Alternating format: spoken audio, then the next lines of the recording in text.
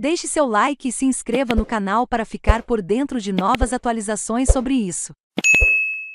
Última temporada de Grace and Frank chega com tom de saudade na Netflix. Desde que estreou lá em 2015, a série Grace and Frank não perdeu o fôlego e foi a cada temporada, agregando histórias divertidas e destacando o brilho de seu elenco. Não é à toa que no próximo dia 29 estreia, na Netflix, a sua sétima temporada, que será o desfecho para peripécias das amigas vividas por Jane Fonda e Lily Tomlin, que também integram a produção da obra. Na verdade, no fim do ano passado a plataforma liberou os quatro primeiros episódios dessa última temporada, agora chegam os doze restantes.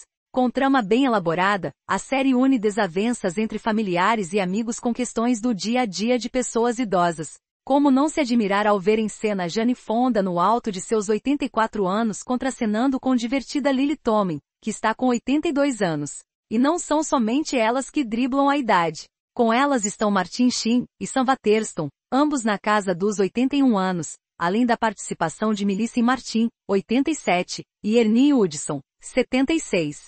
São atores de peso que mostram que a questão etária é problema sim, mas eles estão se sobrepondo a essas limitações da carreira artística. Nesta última temporada, as amigas Grace, Fonda e Frank, Tommy, parece que continuarão a seguir unidas, mesmo que cada uma arranhe de alguma forma a relação. Nada que uma boa conversa e ajudinha de fora não consiga minimizar. Independentemente do que se dará, o certo é que a série trouxe à tona questões relativas ao envelhecimento. Sempre optando pelo lado bem-humorado, serviu para refletir sobre viver ao lado de quem se ama, superar desafios da idade e de preconceitos, lutar pelo que vale a pena. E tudo começou quando o então marido de Grace, Robert, Martin Sheen, decide terminar a relação de anos e assume seu amor pelo amigo Sol, Sam Waterston, que é casado com Frank. As duas na verdade nunca foram assim tão amigas, mas com a situação que se apresenta, a união acaba surgindo, meio a atropelos. Com o passar dos dias e das temporadas, a amizade as aproxima ainda mais e cabe a cada uma dar o suporte à outra.